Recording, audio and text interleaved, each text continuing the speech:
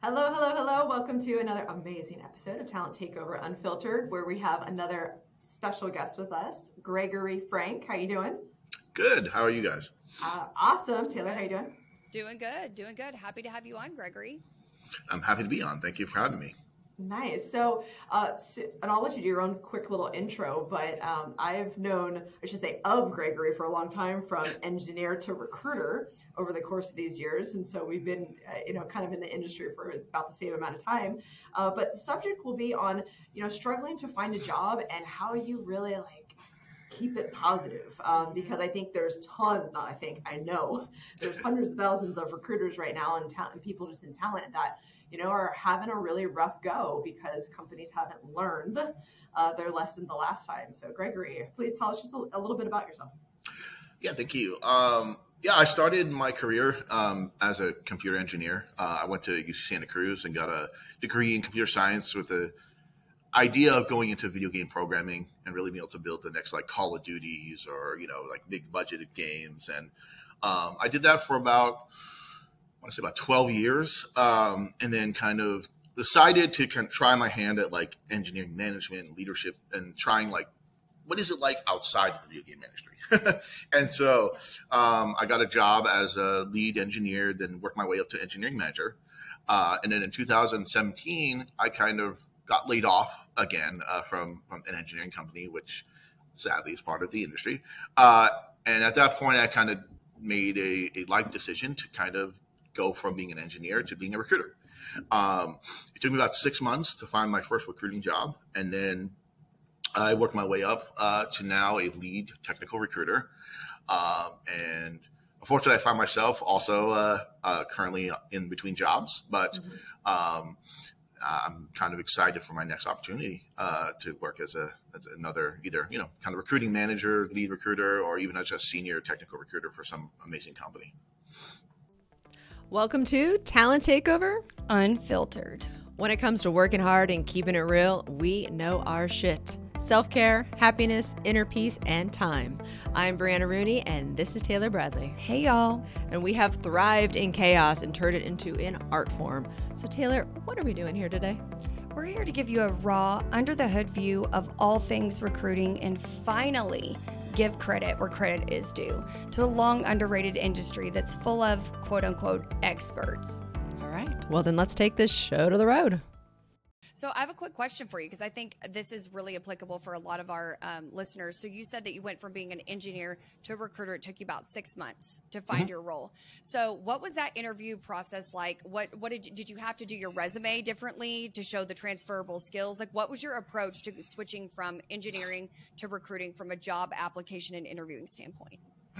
Oh, that's a, yeah, that's an excellent question. Um, yes, I did have to change my resume. Uh, so basically I did have to change my resume. I would say like about fifty percent of it uh, to to really emphasize what was related to recruiting that I had done as an engineer. So things like reviewing resumes, interviewing candidates, um, going to GDC and kind of running a career booth where I volunteered to be one of the people at the career booth to in, you know to kind of introduce the company and yourself to like potential candidates and get like a stack of resume like this high, um, and I went on like, an, uh, for example, the recruiting team would invite me to go to DigiPen University career fairs and kind of do a presentation. And so all of that I would emphasize in my role, uh, you know, kind of when you put all the skills and all the things you've done at the very top. And I would bold it so that way it would come out either in a, like an ATS system or a reviewer reviewing the resume, all the way up to like, as an engineering manager, it was my responsibility to interview, hire, and choose who's going to be on my team, essentially like a hiring manager um, and so I'd really emphasize that in the resume. And I would uh, take out kind of the roles that weren't as applicable, but put those on my LinkedIn and just kind of put a note saying like my full experience is on my resume on LinkedIn, but this is my highlight resume. Uh, and also change my objective. So my objective would be kind of to, to get my first technical recruiting job. Um, and I had, and I and st- still to this day, I, I kind of have a modified resume to kind of show off my recruiting abilities and not my engineering ability as much, but also to show that yes, I have this experience that's unique and that is very helpful to the job. Have you ever thought about going back to engineering? I was going to ask that same thing. uh, How, I thought about it. Yes, absolutely. I mean, obviously, uh, it's something that I was passionate about. Uh, but I love my job as a recruiter uh, so much more that um, it's not enough to kind of want me to go back. It's it's enough that like I want to be involved in like, for example, contract work, or if I'm at a company and they're doing a technical interview, like I do want to see the code and be like, oh, can I check out the code of this candidate? I really am excited to see like how good they were, um, and then be able to get that trust from the hiring manager to look at the code and be like, oh wow, this person is a great engineer, or ooh, this person is not so great. like the code submission was was really bad. yeah. Because I'm thinking about like as we're talking about the subject of struggling to find a job and how you stay positive. And so, is it harder to find a job as an engineer or as a as a recruiter? Hmm. Um, I think right now it would be a little bit more difficult for me uh, to find a job as an engineer. Oh, sorry, to get a job as an engineer to find a job as an engineer is definitely easier. Um, mostly because right now the market really needs software engineers uh, across every industry, every kind of like gaming, non-gaming industry. Uh, recruiting, I feel, has a lot more adaptable skills um, for industry for like non-tech, tech. You know, they can go to like, for example, healthcare or mm-hmm. go into like lawyer recruiting because um, the basic skills are very applicable. Um, and sometimes it's actually useful, like when I was looking for a recruiting job, to do some contract work in your profession. Like, so I had an engineering contract for 30 days uh, with the potential to be converted full time before I even nailed my first interview. and so I got hired by Dink, um, which I'm sure a lot of people have heard of. Uh, and I was working as a contractor for IGN uh, because I needed to get income coming in, and it was something that I could get a job quickly since I was an engineer. Um, but I made it very clear to the organization, like, look, I'm really trying to become a recruiter. Um, I love I love your company. I love to do the contract work. I'll put my heart and soul into it. But um, realistically, like this is my goal. And so they were totally open to that. And they said, let's reevaluate in 30 months. If you're still looking for a recruiter job, we'll respect it. If you want to come on board here and we want to convert you, we'll do that. And so we had that conversation 30 months in. I was like, I got my first recruiter job. I'm really excited about it. And they're like, okay, cool. Let's extend your contract one week then. And then you can go on to the, to the new uh, opportunity. I love that. I love that you differentiated between finding a job and getting a job. I thought that was really interesting. So, um, because we, I know how Brianna meant it and positioned the question, but there definitely is a difference. It's a lot easier to, in this current market, find a job um, in you said engineering, but to get a mm-hmm. recruiting mm-hmm. job is more difficult. Um, so going back to you know what this episode's about, um, how do you stay positive in your job search? I think the key uh, to staying really positive is just is really believing in yourself, right? So um, interviews can be really um, I would say confidence killing when you're getting rejected from your resume to when you go to an interview and I've even had people when I was first looking, for example, a recruiting job, tell me that I wasn't being genuine, I was being disingenuous, and I really didn't want a recruiter job. I just wanted to find a job and get one, mm-hmm. um, which really hurt, right? Because it makes you kind of go back and go, "Hmm, do I really want this job, or are they right? Like, am I just looking for something because I'm unemployed?" Uh, what they don't know is that you're doing things like I was doing things like like Uber, right, driving to, just yeah. to get income in, uh, doing things like contract work, doing favors for uh, family members like that were maybe running a business that wanted you know someone to come in for a day or something to help them out so i was getting income that was allowing me to pay my rent and to stay afloat um, and then the, so that so really it's just surround yourself with people that that you know will support you um, so some people they, they they they can love you but they're not the greatest at supporting you, right? Like I'm sure everyone experienced that. Like, so the key is to have the people that will support you. So I surrounded myself with like all my friends who basically kept telling me like, no, no, you can do this. Like you really want to do this and you're choosing the right thing. Like I've known you for 20 years, 10 years, whatever. Um, you're a very outgoing person. You're very social. You talked about this for many years. Like you're doing the right thing. Um, and that really helped me boost my confidence, but also reassured me that I was doing the right thing. Um, and that I was choosing a job that I'm going to be happy with versus choosing a job that's going to pay me a lot of money, but I'm going to be miserable type of thing. Mm-hmm. I gotta re-say your line again because I was like totally got the chills, like instant, like watery eyes. Because like, you know, people can love you, but they don't always support you. Right. and like that's that's so crazy. I remember when you know I opened up you know my businesses. It's like really you want to do that again, or you know is there there really a market for that, or are, you know it's like it, it was like the big question and question. And at the time, I convinced myself, oh, they just love me and want to make sure that I'm making the right decision. But Mhm. then very quickly, I was like, no, you just weren't supporting me. Like just like want like like what I do, or just like be like, yes, go you. Well, and on the other side of that, you both bring up a great point too of it's so people can love you but not support you. It's like when you're going through those tough times, I think a question could be how can I help you? You know, Mm-hmm. not by not just being like how can I help you mentally, emotionally, but professionally how can i help you? Can i introduce you to people? So i find that that's really even when you're struggling you're going through difficult times whether you're unemployed or you know your business is having difficult times it's like the people that you know are maybe the people you vent to and know your struggles it's rare that you get asked that question. Even though they may love you and you know they absolutely love the shit out of you how can i help you from a professional standpoint Yeah, sometimes it's also realizing that maybe the loved one can't help you, right? They may not know about the industry you're in, or they may not understand why.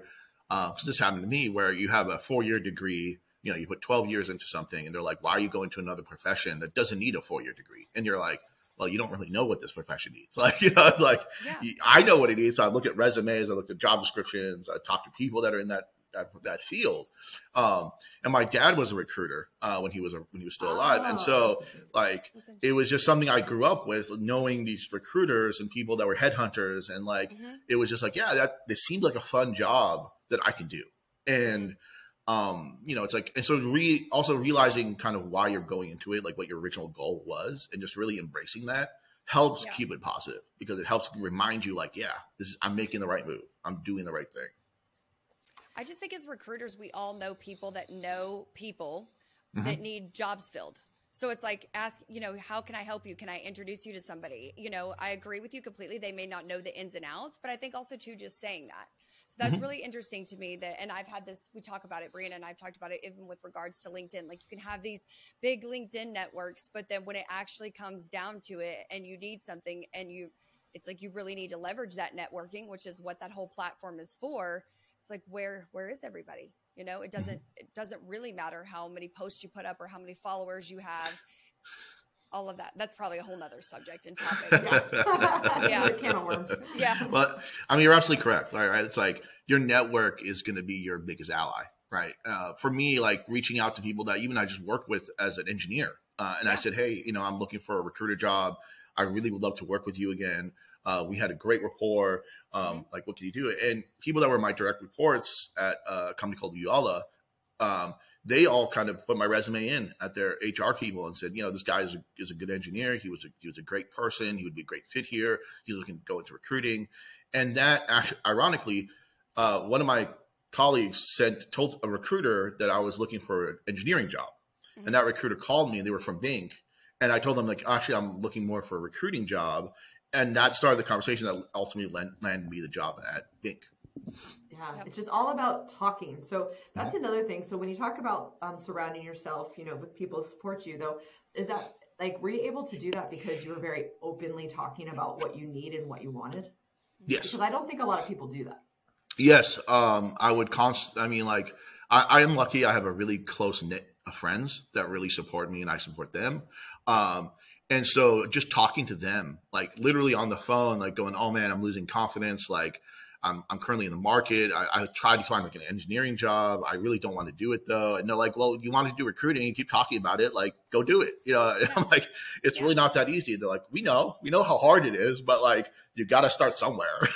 and so it was just getting that reassurance from somebody who knows me well, you know, like that really knows who I am as a person, telling me like, no, you can do this. Like we got confidence in you. We we support you. We we're gonna help you. I even had friends offer to give me money to help pay my rent to lo- give me a loan if I needed it, like if I was running Wow. out. And they're like, just do it. Just go out there and find your job.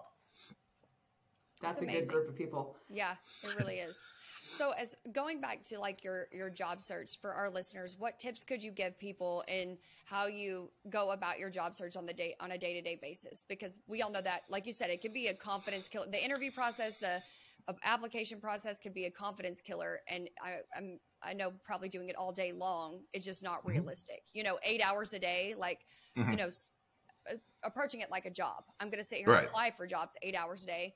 It's just not mentally realistic, and it's draining. So how do you break that out? How do you do that? Yeah. I mean, it's definitely mentally straining, and it is definitely a full time job. Like you know, to Yeah. find a new job, but it shouldn't be approached as one, in my opinion. Like Okay. you should you should like set blocks, like almost like you're setting meetings on your calendar of like, okay, Yeah. for this hour, I'm going to look for jobs.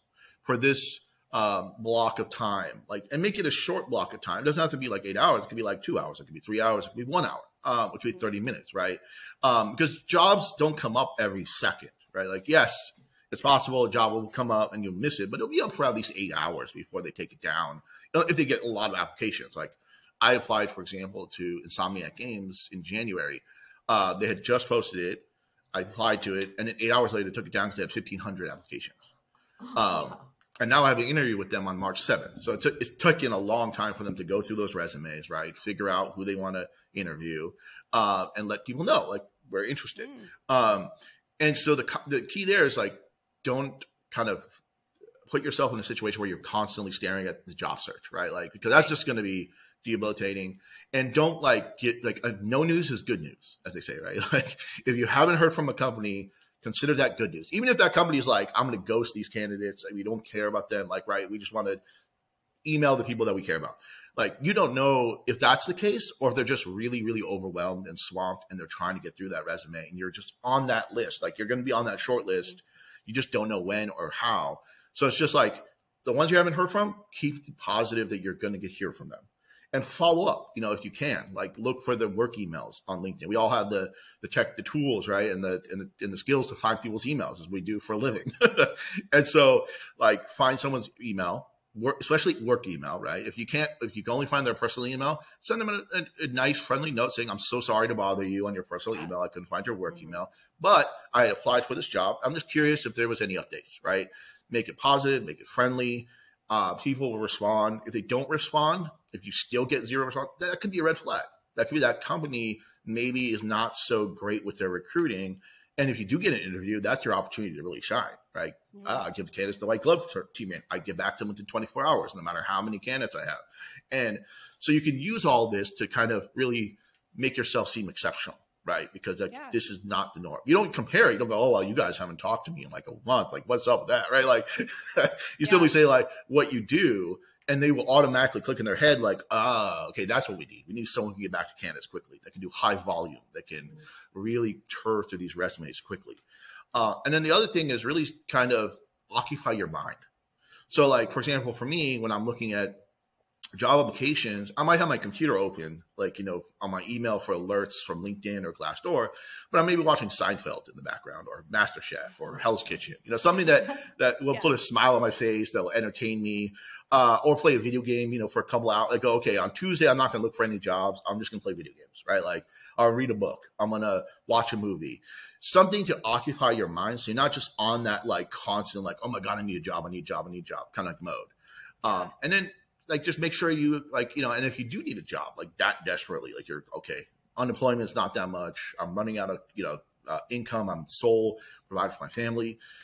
There are lots of avenues to get money right? I mean i know there's some people that do gofundme's there's some people that have done like um, it's kind of like you know just reaching out to their network and saying hey anybody willing to like help me this month? I mean i can't meet my rent. But really you could just get a job like anywhere. And and, and just make it very clear in the beginning like you're looking for your permanent job but you're willing to do i don't know work at mcdonald's right? Like it's like Yeah. there's no job beneath you essentially. Once when you're in that situation just do what you can to keep your mind positive that you're going to find your job. And so take away the things you're worried about. If you're worried about getting an income do something temporarily to get that income. And then focus on yes i'm going to find my, my new job. So like right now i'm doing some side contract work for um, some people that i know that are kind of small startups that just need a little bit of help working part-time after hours.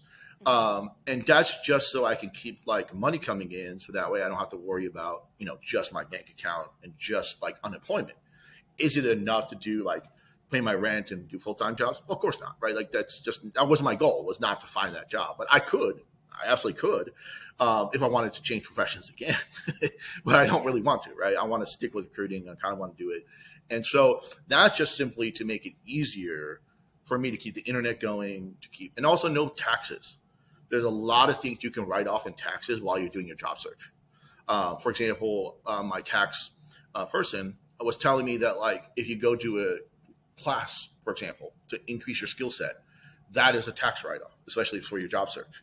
And so talk to your accountants or ITAs or turbo taxes, whatever. Just find out what is write offable in taxes that you can do to increase your skills while you're looking for a job. And also just kind of really put yourself out there. Apply for any and every job. It doesn't matter if you're qualified or not. If you see a head of talent job and you're a junior recruiter, you're not going to get it, but apply for it because that company might be go, oh, we actually do need a junior recruiter. We don't have it advertised, but this person's resume is really impressive. And mm-hmm. uh, and you know, obviously you want to be realistic. You don't want to apply for like VIP or director or whatever. That's like way, way above your skill set.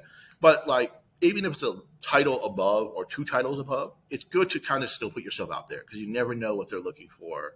You never know, even if the job description is really, really intense, you don't know what they really want, right? So it's yeah. best to kind of just try because you have nothing to lose and you have everything to gain. Well, but couldn't you lose more confidence? Because, like we were saying, like if people aren't getting back and they're just rejecting your resume after resume after resume, and you're mm-hmm. kind of putting yourself in this position of like very unlikely situation that they would want you. I mean, it, would would that be a confidence killer?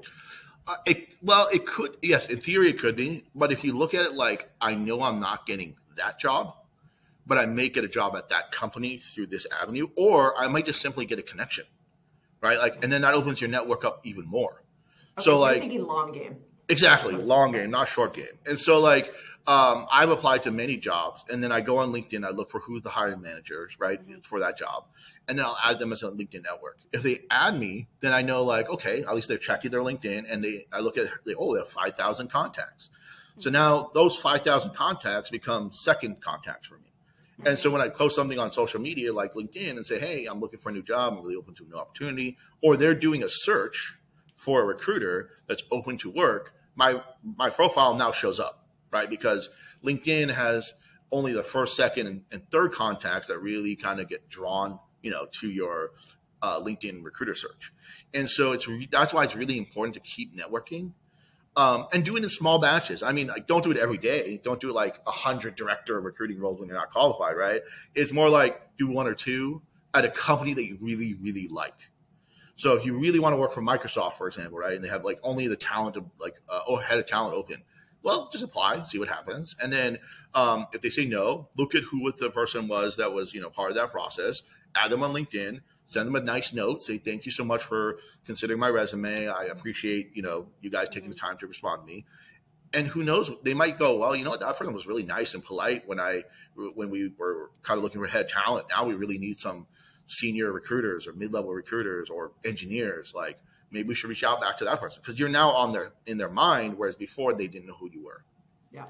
I think it's a good best practice though if somebody's applying to multiple jobs at a company or they're applying to a, a job that you know they may not meet the qualifications for to give you know either a, do a transferable skills doc which is something that mm-hmm. we have a service we provide here to show kind of why you think you could be a good fit for that role or um, you know highlight that on your resume because i know that back in the day it used to be like oh you're seeing this person's name again and the the perception that we had as recruiters though was that they're not even reading the job description because you're yeah. not mm-hmm. qualified at all and so it actually had the the negative um, impact mm-hmm. that we're talking about so i think um, to do what you do, I absolutely like I support that, and I think obviously times have changed. I just think it would be an added benefit for our listeners to know that you need to express why you feel you're qualified for that role throughout that application process, so they don't just think, okay, this person doesn't even read the jobs; they're just applying for everything. They're kind of like spamming us.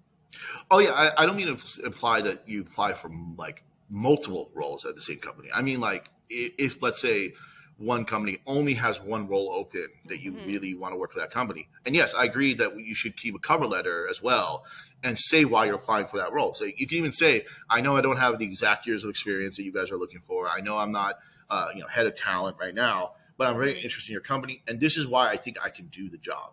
Yes. This is why I feel like I'm qualified for this role because you know inherently like yeah you don't meet the job description but they don't know what you're capable of right they just know like what your resume says Yeah. and if that nets you an interview then great like right you can talk about yourself you can you can close the job so to speak right uh, and but if you don't get an interview like that's why you send that follow up, like note just saying thank you so much for you know re- reviewing my resume uh, I'm sh- I know I didn't get this, I wasn't qualified for this role, but if you think of any mid-level senior recruiter roles or whatever role that you're really qualified for, please keep me in mind. And I have found that majority of, of recruiters will, will respond positively. yeah. I like that Yeah. follow up approach. I think in, in general, people want to help, um, especially right now. I think, and, and I've seen a switch. I would love to know um, your thoughts. So, like, even a few months ago, I felt like no one would get back to you. No one in talent would get back to you. No one wanted to reach out. Now, all of a sudden, the sky is falling. And I've got all sorts of people reaching out to me and being like, hey, do you know someone here, dude? I, I'm looking at, you know, and it's like now it feels more like how it used to be, where we all networked and respected each other. Whereas I felt like the last year and a half, people were just kind of shitting on you. Just be like, oh, it's okay. I'm too busy for that. Like, I'll never respond to you because I'm too busy. Because we were like hot. People were getting paid 40, 50K over of, you know, normal salaries. And so, yeah, it's, it's definitely a different time um, Mhm. for sure. Like, are, are you feeling that as well? Absolutely. Um, when I first started my search, kind of in January, um, and also I, I was like taking a pulse of the market in December because I was I was thinking of like what is out there. You know, oh my god, these layoffs are happening. It's scary. Like you know, Yeah. what if I get laid off? And then sure enough, I did. uh, and so I definitely noticed that like people are are very much supportive right now. Like I'm seeing Yeah. daily posts on LinkedIn from random strangers just saying, "Hey, there's these three recruiter jobs available. There's these software engineering roles available. Hey, who's looking for a job? I would love to help." Um, another thing I, I I've done that I think is very useful is joining either Discord or Slack groups Oh, specifically ones that are either alumni from companies you used to work for, they're industry related. So like there's some that I that that are like game developer Slack groups, and they post opportunities all the time.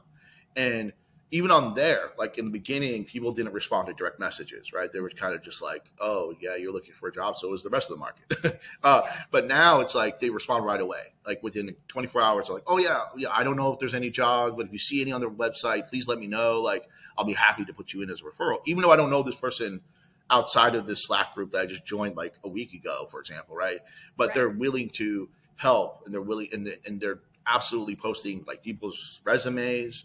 They're posting jobs. So even if you are not part of a Slack group, reach out to someone who you know that maybe, like you know, I have a, a close mentor who who's mentoring me in recruiting named April, and I reached out to her with my resume. and I said, you know, if anybody you know, and she led me to some Slack groups. She's given me a lot of great advice, um, and also is willing to pass my resume around, right, to like places that I don't even have visibility into. And so that's kind of um, the key because like also the CEO of a couple of companies I worked at, you know, they said, hey, anybody here that is looking for a job, you know, I've had these three different contacts. Uh, let me know if you're interested. And I was like, yeah, I'm interested in two of those. And then so he he, he sent me a text message and he's like, hey, I'm introducing you to those people. I'll let you know if they're interested, right? So it's just getting that network going and let them do the like the the lifting for you, right? You do the heavy lifting, sure, but like let them do some of it. Give some of that. I hate to say burden; it's not a burden, but give some of that like uh, uh like kind of burden to them to help you because if you have the right people in your network, they're going to help you, and they're not going to expect anything in return because they just want you to be happy and find a job.